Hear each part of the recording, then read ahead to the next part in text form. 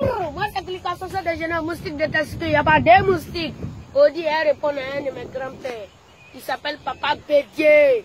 C'est mon grand-père, Papa Bédier. Audi, il vient de voir une vidéo. Et ouais, que les payés. Papa, arrête ça, arrête de faire les vidéos. Arrête de faire les vidéos. La vidéo là, c'est pour nous les jeunes. Voilà, c'est pour nous les jeunes. Et cliquant sur ce jeune, celui qui dit ça.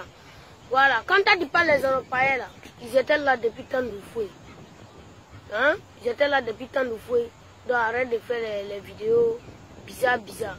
Donc c'est ce que tu faisais à l'époque pour envoyer les Européens pour venir voter. Ouais. Ton affaire d'ivoirité là, on est fatigué de ça. On est fatigué de la guerre. Donc c'est ça qui fait chaque fois, c'est à cause de toi, les gens meurent dans la Côte d'Ivoire ici. Affaire d'ivoirité, tu mets ça dans la tête des gens. Les gars se tuent entre eux ici. Donc arrête de faire les vidéos bizarres, bizarres que ouais les Opaïens.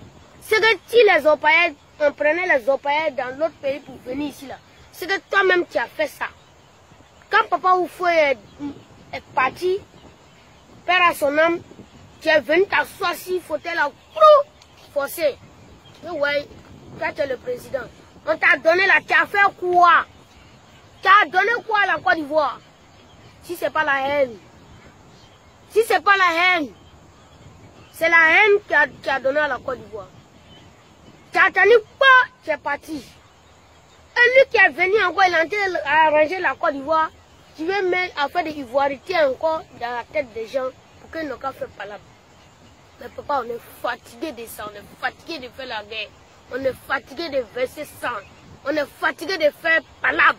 On est fatigué de toi. Cherche à réfléchir. Tu es un grand-père pour moi. Mais cherche à réfléchir. Comment tu, quand tu vas mourir là, tu vas partir en enfer ou en au paradis. Tu as compris?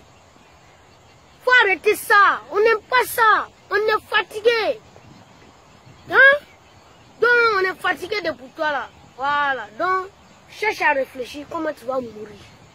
On est fatigué. Ton esprit tordu là. Moi, il y a beaucoup de.